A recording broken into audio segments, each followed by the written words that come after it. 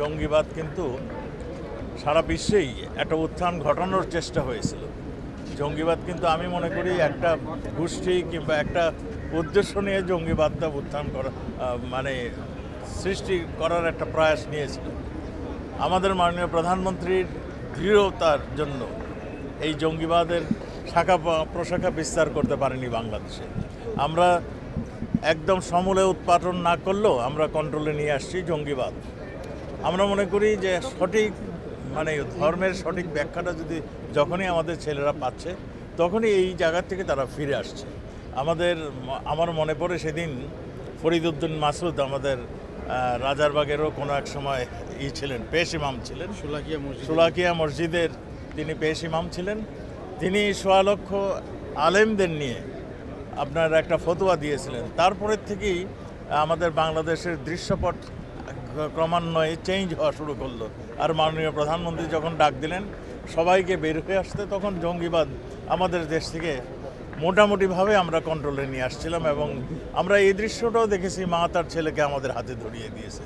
আমরা এই দৃশ্যটাও দেখেছি যে যারা হত হয়েছেন, তার, তাদের ডেড বডি তাদের আত্মীয় স্বজন নিয়ে আসতে, নিতে মানে আসেনি।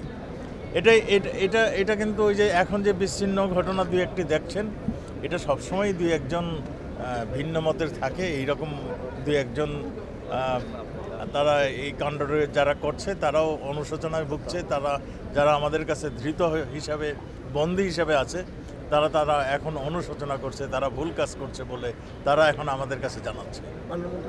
দেখুন, সীমান্ত এলাকা, আপনারা জানেন, কতগুলি বর্ডার লাইন আছে, যেখানে অত্যন্ত দুর্গম। সেখানে আমাদের পায়ে হাঁটা ছাড়া আর কোনো যা ই নেই। তারপরও আমাদের মাননীয় প্রধানমন্ত্রী বিজেপিকে দুইটি হেলিকপ্টার মানে দিয়েছেন এবং পুলিশকে, পুলিশের জন্য দুইটি হেলিকপ্টার আসছে। বিজেপির হেলিকপ্টার দুটি মানে এই সীমান্ত এলাকায় মানে হি, এই হেলি সাপোর্ট দিয়ে আমাদের সেই জায়গায় আমরা আমরা অত্যন্ত দৃঢ়তার সঙ্গে আমাদের সীমান্ত রক্ষা করে চলছি। আপনি যেটা বলেছেন যে মাঝে মাঝেই এই মানে অনেক ধরনের অনেক মতবাদ এলিমেন্টস অনেক উদ্দেশ্য নিয়ে জড়ো হয়।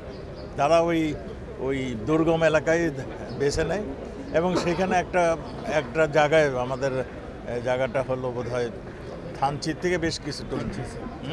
থানচি থানচি এই, আ, বান্দরবনের থানচি সীমান্তবর্তী এলাকায় একটা ট্রেনিং ক্যাম্প তারা করেছিল।